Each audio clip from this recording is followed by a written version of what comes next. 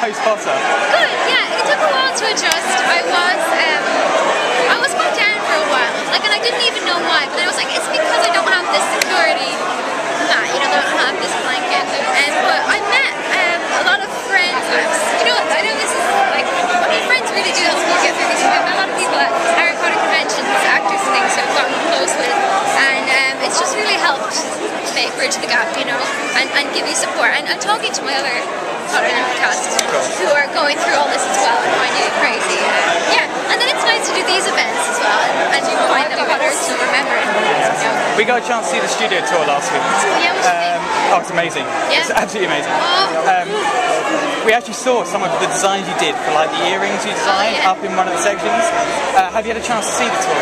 No, I'm going on Wednesday. Yeah. Okay, are you going to be for the opening as well? Wednesday, yeah, till Okay. Saturday. I will be. I can't wait. Okay, well, you be there? Uh, yeah, we'll be. So we'll try and catch you then. Um, yeah. So congratulations for the nominations tonight. Thank you. And uh,